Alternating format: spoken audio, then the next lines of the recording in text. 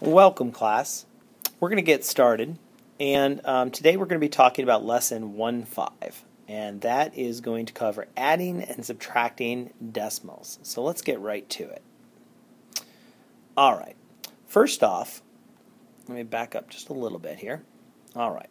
So, rule number one is if we're going to be adding a couple of decimals together, there are three very important words that are going to be very helpful um, in um, in setting up the problem so that we can be successful. Okay, so kind of like we're playing hangman again. Um, those three words. Let's think about it. Um, I'll start you here with the last one. Okay, the last word is up. Okay, and as you can see, I'm already starting to write in that first word. Um, so if you haven't already guessed, the trick is to line them up. Okay, and by that what I mean is line them up by the decimal points. Okay, so this little yellow box here, um, we're going to go ahead and we're going to line up the decimals 3.026 plus 4.7 plus 1.38. And what we're going to do is instead of writing them horizontally like they are now, we're going to line them up vertically and we're going to line them all up so that the decimal points all line up. Okay, so you can see when I write them vertically 3.026, 4.7, and 1.38. Um, in all three cases, we have a nice lined up ones place and the tenths place and the decimals line up. Now you also notice that because the bottom two numbers are a little bit shorter, there's nothing over to the right of them. Well, we can fix that by going ahead and just um, adding in some extra zeros so that we kind of fill up the column. Okay. Now we're going to go ahead and we're going to start at the right, follow the white arrow, and we're going to add up the first column. Okay. And we're going to get um, 6 we're going to add the second column. 2 plus 8 is 0, so we carried a 1. Okay, that's already written in. And then we're going to add 1 plus 7 and 3 and get 11. We'll carry another 1. And we're going to finally add up the, the first column. We're going to get 9. So the correct answer here is 9.106. Okay, and again, um, the trick to lining up or to adding decimals is to make sure that we line them up by place value. So each column is going to be the same place value. Okay, now you don't have to add in the black zeros if you don't want to. I personally think they're very helpful. Okay, so that's rule number one, and that's really the main rule. So remember that for your daily quiz. Um, but if I ask you, what are the three main, you know, what are the key three words for how to add decimals? The trick is to line them up. Okay. All right. Well, let's go ahead and continue here. Um, that is rule number one, rule number two, rule number three. That's really the whole deal.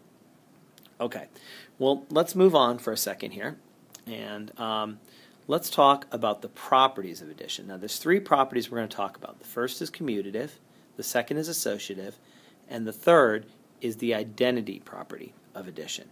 Okay, so let's go through each of these, and let's talk a little bit about um, what they mean. Um, and let's start with the commutative property. All right, the commutative property um, basically says that 3 plus 7 equals 7 plus 3. And we can do this for any two numbers. If you add two numbers together and then reverse the order that you're adding them in, you get the same thing. Now, the way I like to remember the commutative property, think about when you drive back and forth from uh, home to school every day. Okay? That's called your daily commute. Same thing with your parents driving back and forth to work. All right, now assuming that you take the same streets on the way here to school as you do on the way back to your house, um, the distance traveled is the same in both directions. Well, likewise, if I change the direction of 3 plus 7 and make it into 7 plus 3, I still get the same answer. Either way, it comes out to be 10. Okay? Now, the second property is the associative property. Okay? And the associative property, think about what associate means. Okay? Um, sometimes your parents tell you to make sure you choose your friends well because you want to associate with people who are going to be positive role models in your life. Okay, associative has to do with groupings. Okay, so take for instance again, um, let's take three numbers: three plus four plus five. Okay, and let's say that I drew parentheses around the first two numbers. All right, so we're going to group those together. That would mean, by order of operations, that that's going to get done first. So 3 plus 4 is 7. And then we're going to add in the 5, and we'll end up with 12. All right, now let's see what happens, though, if we take the same numbers, 3 plus 4 plus 5, and this time, let's group the 4 and the 5 together. All right? Now, in that case, the 4 plus 5 gets done first. That gives us 9. And then we add the 3 in. Well, we still get 12. So regrouping the numbers that were being added together um, didn't change the sum in either problem or in, on either side. In both cases, we come out with 12. All right? That is called the associative property of addition. Okay? So, remember the commutative property? By commuting back and forth, the direction doesn't matter. Okay? The associative property, by grouping different numbers together as long as it's all addition. Okay, now if we start throwing in subtraction and multiplication and division, and we start moving parentheses around, it will matter. But if everything happening in the problem is an addition, we can go ahead and move the parentheses around, change the association, and it still stays the same sum. Finally, we've got the identity property of addition. And the identity property of addition is basically what number can we add to a number like 3.6 and not change it. So let's go ahead and look at this little equation here with the little happy box. Remember we talked about how um, that is probably the very first variable you ever saw when you were in uh, probably kindergarten or first grade. And so the question is, what number can I put in there to make that true? What number can you add to 3.6 and still have 3.6? Well, I think you probably have realized the only number that you can do that with um, in our math system is 0. Okay? Oops, Sorry, hold on. Let me stop and go back for a second here. All right. Oh.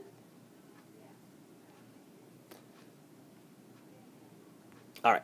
So there we go.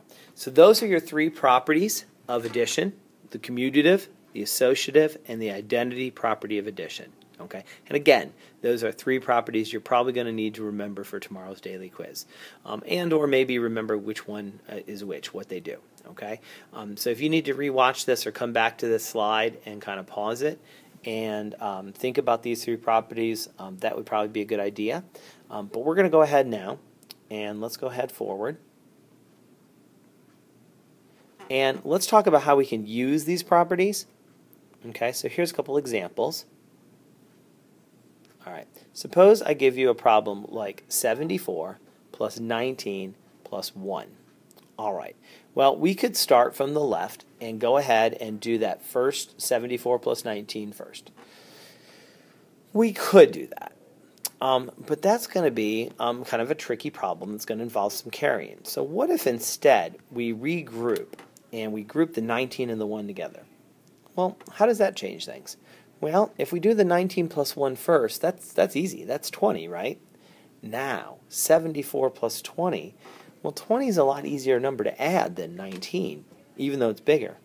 Um, I can do that in my head pretty quick. So now I get 74 plus 20, and that's going to equal 94. And I'm done. So if I'm doing mental math in particular, and we don't always um, promote mental math, we really do want to show our work a lot in um, in math, but sometimes it is beneficial to do things in our minds. And when we do, using properties like the associative and commutative property um, can be really helpful. Well, let's take a look at another example. Suppose I give you a 5.92 plus 0.4 plus 0.308. Okay? And um, again, I could go ahead and I could use, like we did on the first slide, I could line these up and we could line up the ones places and the decimals and the tenths, and we could add it all up, and we would get the right answer.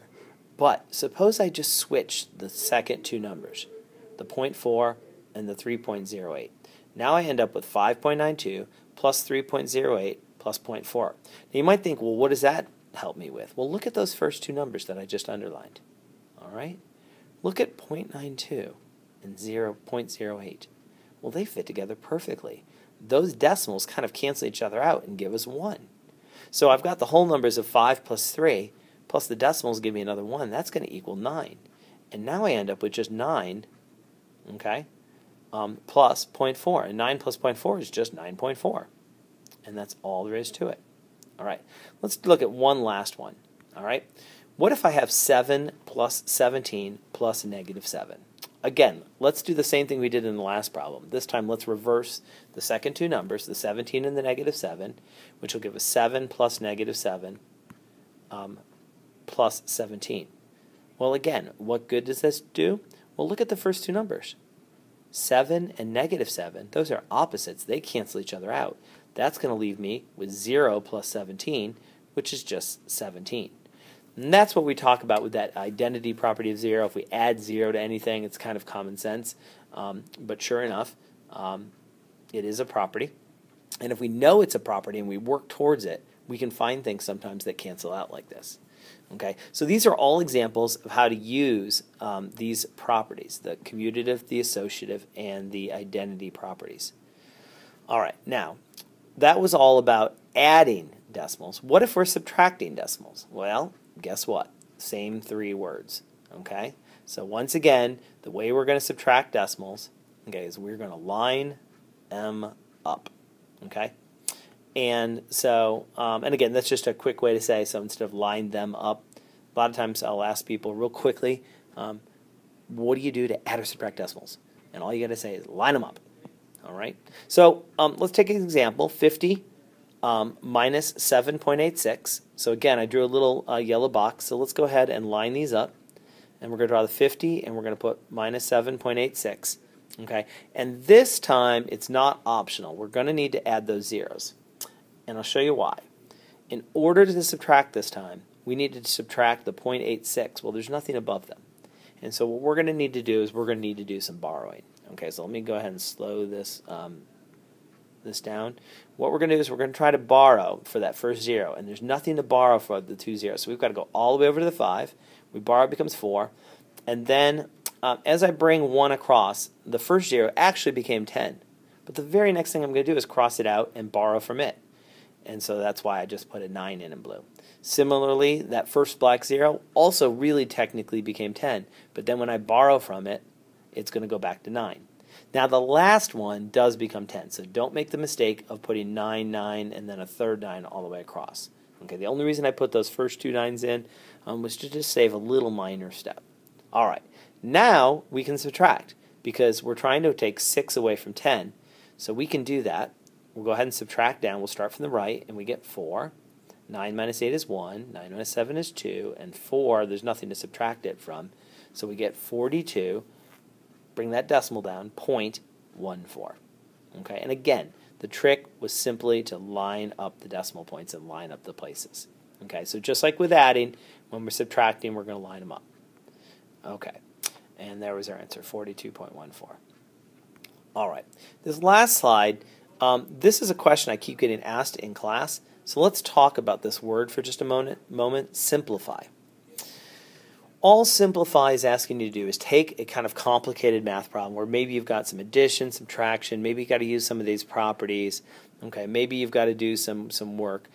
Um, but ultimately, what we want you to do is do all the operations, um, simplify it as much as you can. If there's anything that you can still do to make it a little simpler, um, go ahead and do that. So that basically equates to taking um, a mathematical expression, especially if it's numerical, with just a bunch of numbers, and performing the order of operations or doing the arithmetic to get the right answer. Okay, so simplify basically means just come up with an answer. Um, so for an answer, something, something, let's say you reduce something down to 3 plus 7. Well, don't stop there. Go ahead and finish. What is 3 plus 7? We can make that a little simpler by just saying 3 plus 7 is 10. All right, well, we're already getting a little long here in the recording, and I'd like to wrap this up. Um, so that's going to be the end of this video. Um, thank you very much uh, for following along and watching. Um, and uh, we'll see if we're not a little bit more successful getting this up on YouTube. So I'll see you in class tomorrow. Goodbye, class.